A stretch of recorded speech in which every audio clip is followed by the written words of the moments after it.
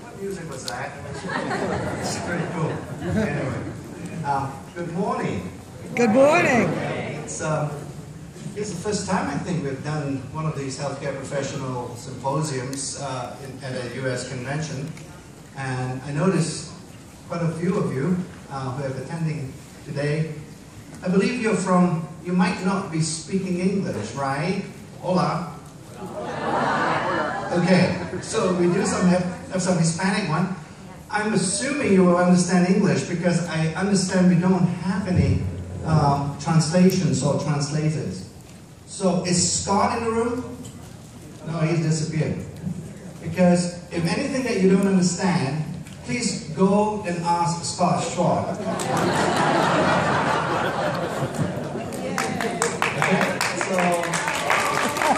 But um, for, for, for now, I apologize if, if our English tends to get away from you and uh, you might miss some of the things because I suspect as we speak, as scientists and, and physicians uh, later on, you might be hearing a little bit more technical English language, which in other words, they are probably words that we invented and uh, nobody understands them. It's like a secret code that we use to talk to each other and it becomes a bit difficult. Um, so I apologize for that too. So, um, it, uh, well, I'm not quite sure what I'm doing up here, but let me. I think what for, for this particular healthcare professionals, I think uh, what I'm going to do is to give you an overarching view and a perspective of what we are trying to achieve uh, scientifically in the anti-aging world, right, with, with our approach, and, and give you uh, a rationale, if you will, uh, why we're doing things and how we're doing it. And then following on, Mark, Helen, Angela, they will come and perhaps give you an, an analogous equivalent to a grand round. So they'll present you some case studies so that, uh, or case report on certain products and, and how we develop those products and again give you the scientific uh, basis of, of, in terms of how we develop that particular product. So you can see perhaps at the end of this particular session uh, that you have a good idea that uh, there is mad, there's some logic to our madness and, and uh, that, that we do try to use a scientific approach. Fundamentally, I think for many of you, when, when we talk about science, it tends to go over a lot of people's heads. And, but I, I think the objective is that science by definition is something that we have to do. In other words, we have to conduct the scientific slash clinical studies. We, we cannot just say we're doing science, we actually have to do the science. And uh, the reason why I mention that and emphasize that is because that you will hear from other competitive companies that they too have a scientific approach, but most likely much of that is either just purely from the scientific literature or it's based on anecdotal uh, evidence or sort of reports.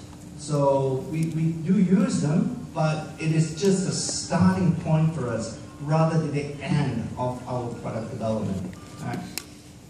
When you look at Nu Skin over the last few years, I think you're beginning to see that we are indeed uh, becoming an anti-aging company. And uh, the reason I think uh, we are rather proud to stay in this particular space is because we have a very robust uh, product category, both in skincare and also in supplement. I think it's beauty from the outside and beauty from the inside, and I think most of us would recognize and acknowledge that uh, if you don't take care of the body from the inside, it is very unlikely that your skin is going to look healthy and good as well. So, and that is why we have so much focus on it. And in fact, when you look around uh, the landscape, you would see that we are the only company that would be able to provide and do the science in both categories. Uh, many of you have visited the Innovation Center, and, and, and I think what you should see there is really a $100 million state-of-the-art product development innovation center, together with IT and so on as well. But the more important thing that you don't see is that this is a building that you sort of created through you. And again, this is an unusual industry and a, a unique company uh, that's called Nu Skin because at least more than half of it belongs to all of you and it is not possible to put this building up and invest that kind of money in an innovation center uh, without your participation. So for our intents and purposes, it is your building just as much as the, uh, the scientists feel very comfortable now uh, working in, that, uh, in those labs. So uh, I, I, think it's also important then to look at the slogan that we talked about, the difference demonstrated, that to the scientists anyway is more than just a slogan. Uh, it is something that we try to uh, adhere to to the extent possible because we don't say what we do, or what we don't, don't say what we say, we do what we say. And again, because it is part and parcel of the scientific DNA. So, and, and again, as you go through the presentations, I'm hoping that when you walk out of here, you have sufficient uh, confidence that we are doing the science that we say we're doing.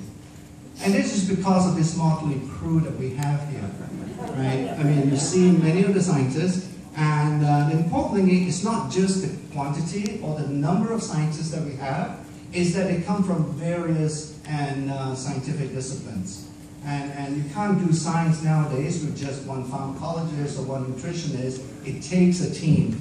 It's almost to quote Hillary Clinton, I guess it takes a village, right? For us, it does take a village uh, to do the science. So it's much more important to us and, and for you to really recognize the, the reality that what we have in these scientists are all sorts of scientific expertise that we aggregate them together so that uh, they, they, can produce and develop a product. It, it, cannot be just one particular scientist because I tend to see a lot of presentations, a lot of marketing material, if you will, that's been put out by many companies when they say that it's a science-based company and they put a, a guy in a lab coat, a white lab coat, and I say, that's our scientist, it looks good, right? So I say, yeah, it looks good. But what they don't tell you is that in the evening when the office shuts down, that person tends to put on a brown lab coat because he tends to need to clean the floors as well. it's difficult to have that kind of uh, confidence and credibility. When we talk about anti-aging, at the highest level, when I think about aging, we can't stop time. It's not, a, it's not something we can do, right? So we are going to get old. 12 months from now, you're going to be a year older, I'm going to be a year older, but not being old is what we are focusing on. Because what we're now trying to focus on is to dissect and to decouple chronological aging from biological aging. Fundamentally, that's what we're trying to do with our products. Because if you can do that and decouple those two types of aging, then I think we have a very good chance of not being old. So that's, that's a really important thing. And we do that not just at looking at this particular clock, but really looking at the fundamental building block of the body, and that's the DNA molecule. And uh, we, we were since learned, since 2003, uh, we comprise of about 25,000 genes, and uh, every cell in our body uh, essentially includes and has this particular 25,000 genes. And indeed, if I take a bit of skin tissue from you, I most likely would be able to clone you. Right? But there are a lot of ethical issues associated with that. So most likely Tyler is here and, and he's not willing to let Nu Skin to go and clone a human being. So, but that's the reality. We, we have the information now, the genetic information, to be able to do a lot of wonderful things. But the genes themselves are not really what we're interested in, in in terms of its structure. What we're really interested in would be the activity or the functionality of those genes. It's the expression, how those genes express themselves is what is of most interest to us. Because if they're not expressed correctly, then we're going to age. Right? So we are not talking about genetic mutation because that kind of structural change is much more associated with another class of condition that's called cancer.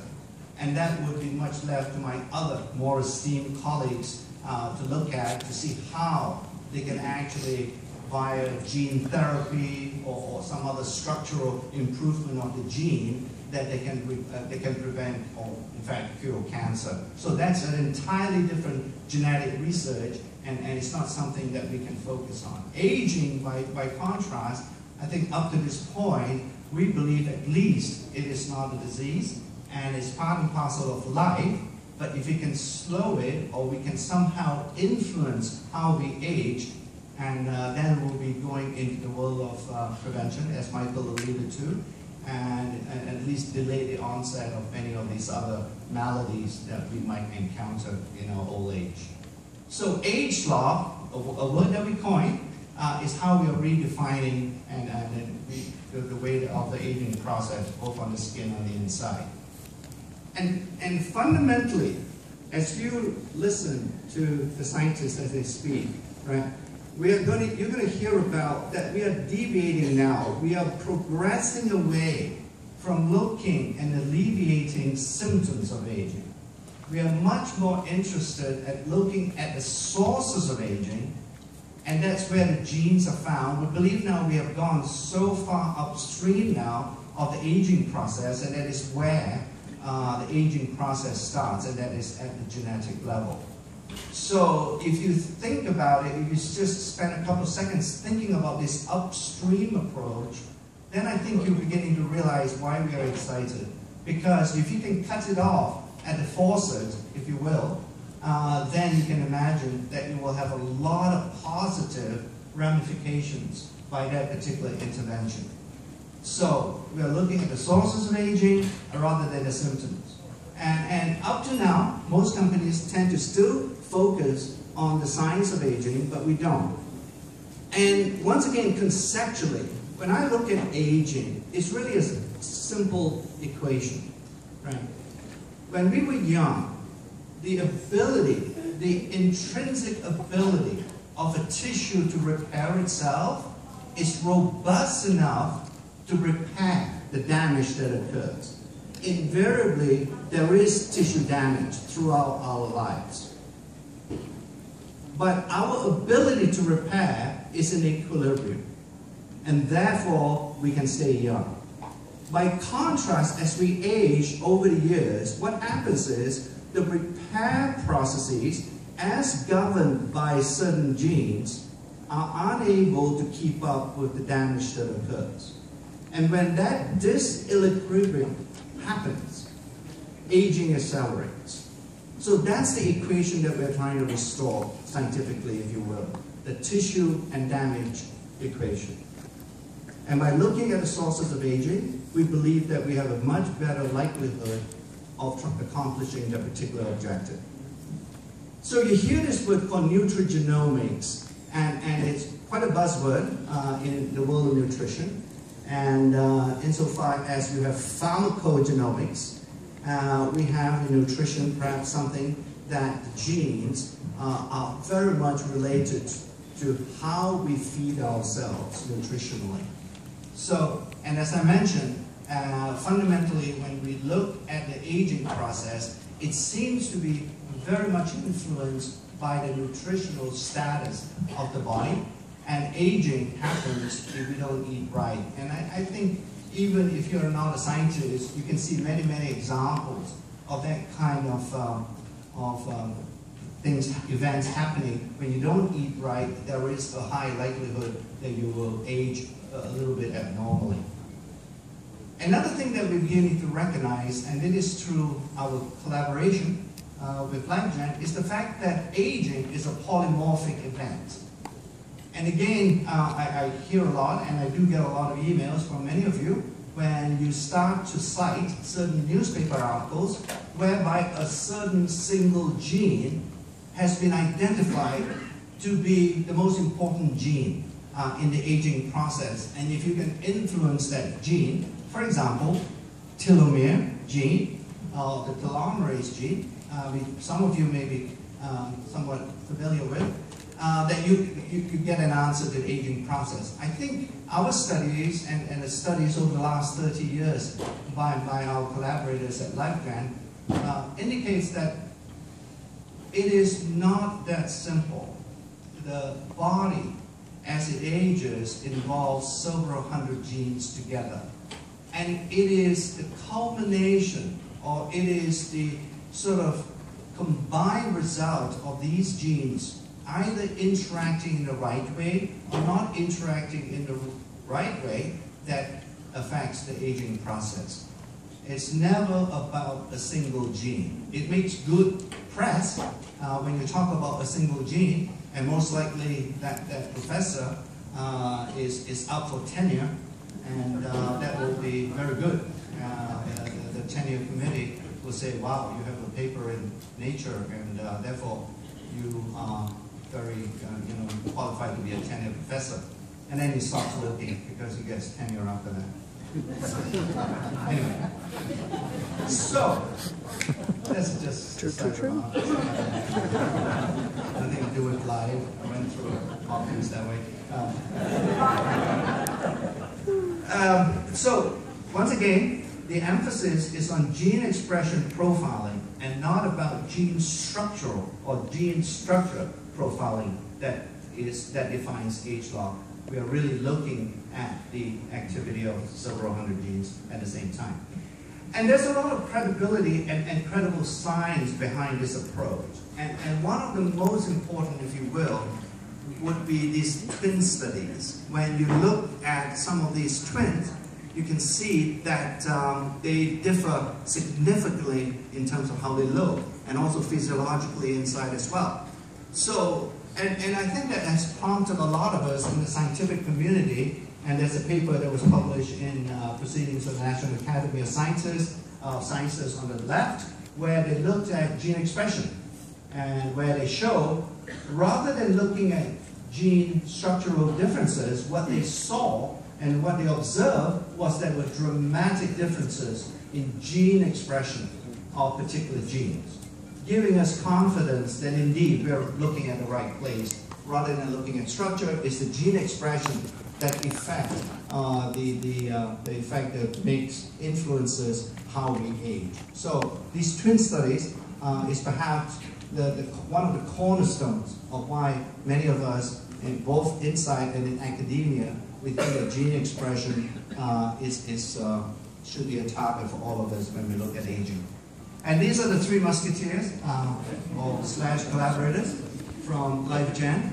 That would be uh, Dr. Jamie Barger on the left, uh, Dr. Tomas Prolla in the middle, and then uh, finally Dr. Rick Weindruch on the right.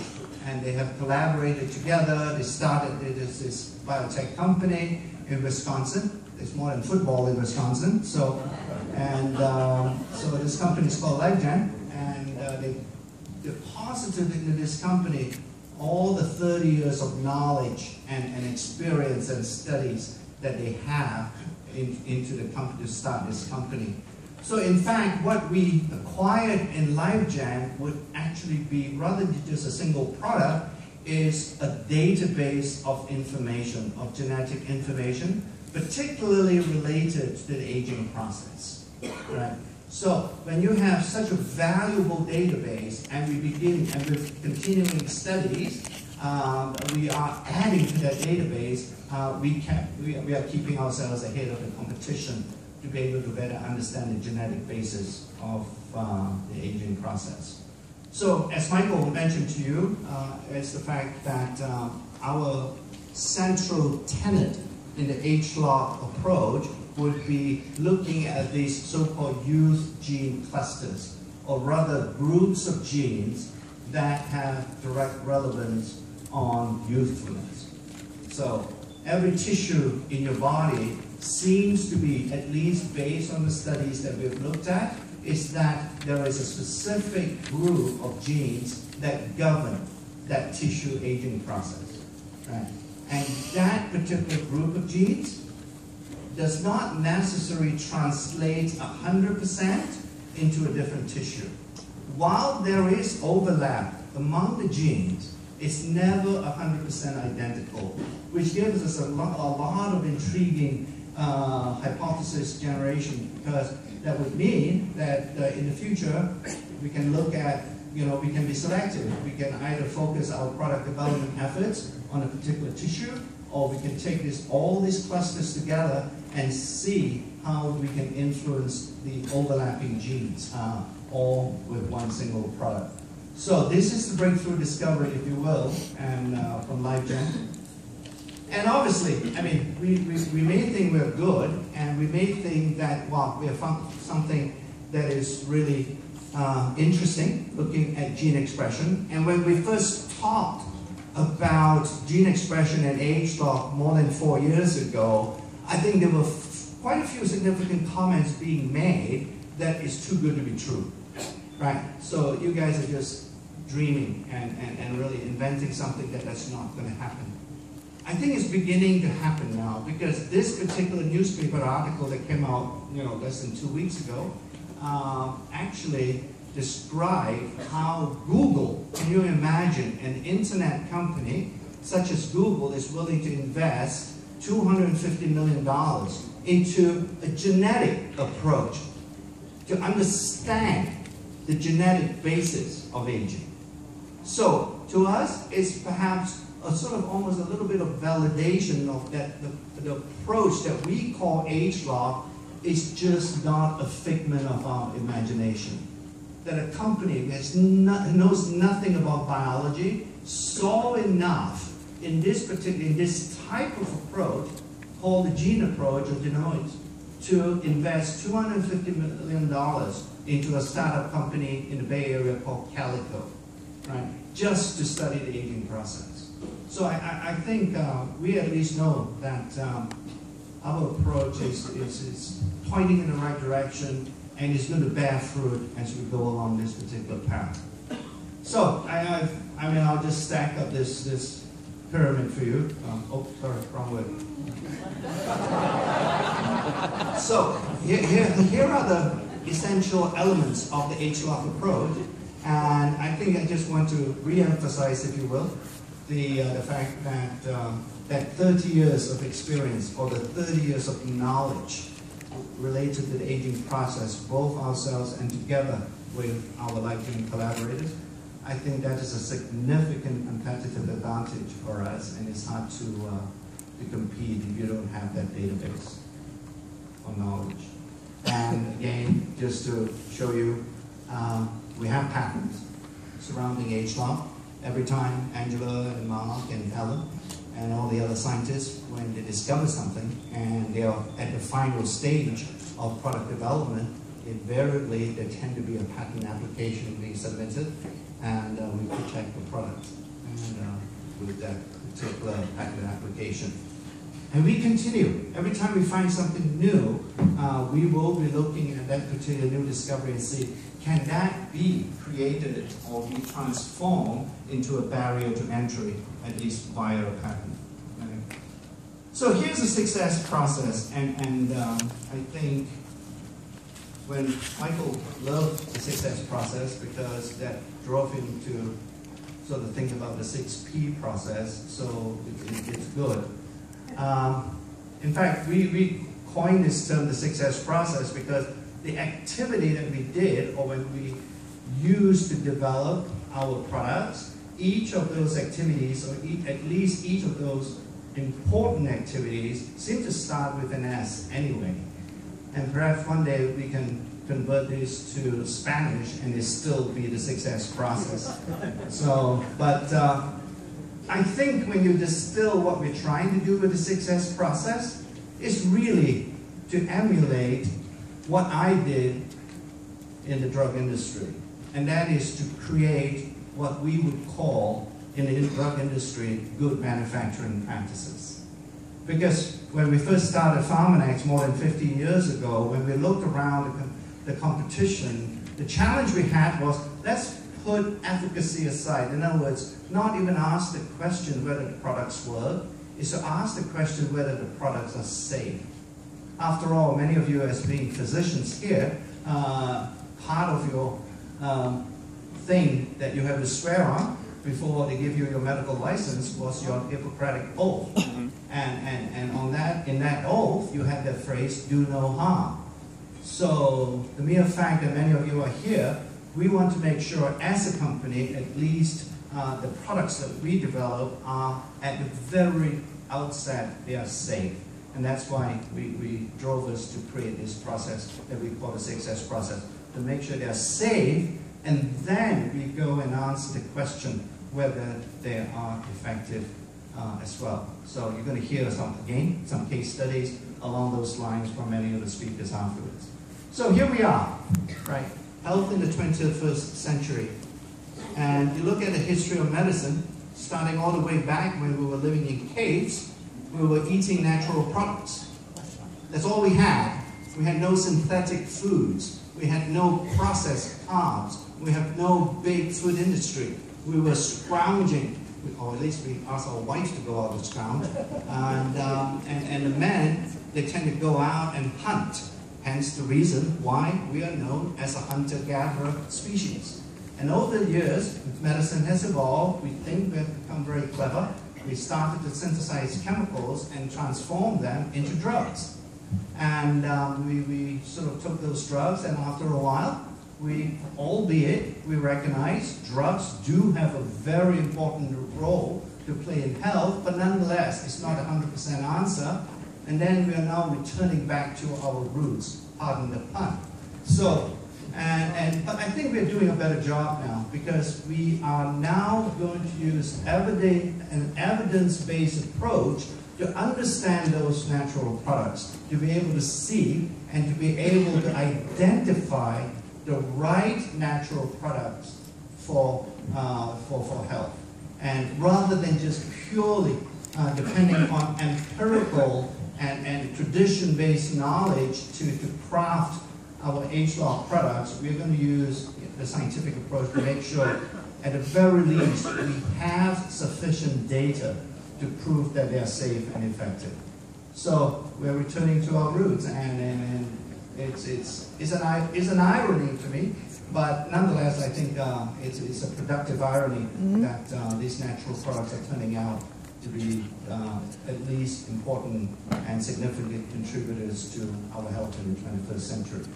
So that's, that's really what I hope to sort of uh, impart to you, some of these overarching, overarching messages we have. And now we can go drill down into the specifics of each product. And I believe our next speaker would be uh, Mark, is it? No. Yeah, it's Mark. Are you going to come out and say something important and productive? or is Mark going to come out? You want to go. Jared is going to come out and tell you something really important. Thank you.